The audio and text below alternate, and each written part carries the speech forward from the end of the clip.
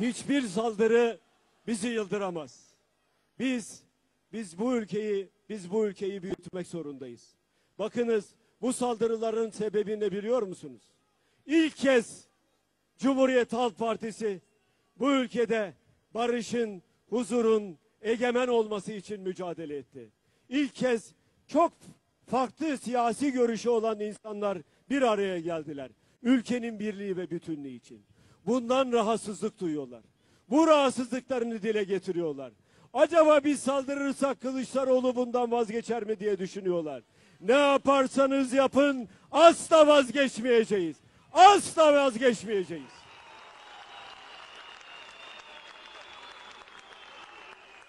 Efendim hepinize şükran borçluyum. Hepinize saygılar sunuyorum. Sağ olun, var olun diyorum. Birlikte mücadelemizi sürdüreceğiz. Hiç kimse unutmasın, hiç kimse. Bu ülkeye baharı getireceğiz. Söz veriyorum. Ülkenin her karışında bahar olacak. Her karışında.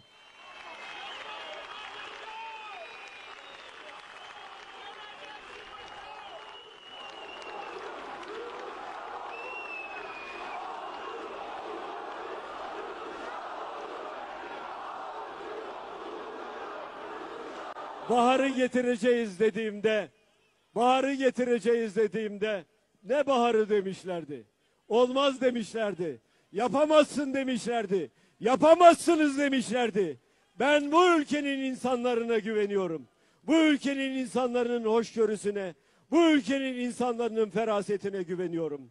Bu ülkede herkesin huzur içinde yaşamasını istiyorum. Bu ülkede her çocuğun mutlu olmasını istiyorum. Bu ülkede her evde huzurun, her evde bereketin olmasını istiyorum. Her gencin iş sahibi olmasını istiyorum. Alın terinin çok değerli olduğunu biliyorum. Alın teri kadar değerli başka hiçbir şey yoktur. Alın teri döken insanların emeğinin ne kadar yüce olduğunu da biliyorum. Dolayısıyla bizler hep beraber bu değerlere sahip çıkacağız. Türkiye Cumhuriyeti'nin kuruluşundaki değerlere ve kurtuluşundaki değerlere sahip çıkacağız. Yaşasın Cumhuriyet diyoruz.